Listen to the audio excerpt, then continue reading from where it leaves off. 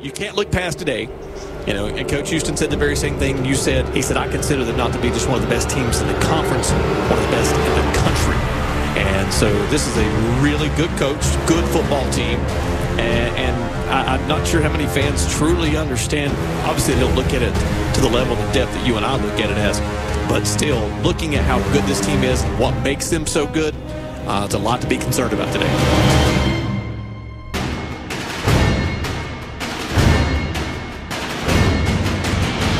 Bone throws across the middle, and it's going to be intercepted. Stepped right in front of the tight end and pulled it out of the air. Dean breaks a tackle, slips inside the five, lunges for the goal line, and has it. Touchdown, JMU! And off the Gowans, he runs right into the arms of Landon Word, the junior from Vienna, Virginia.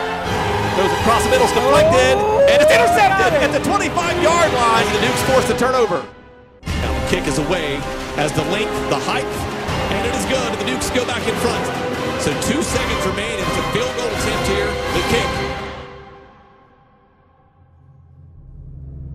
It doesn't have the distance. The Dukes hang on and win. As time expires and the Dukes rush the field, it's celebration. Streamers are flying a homecoming victory for JMU.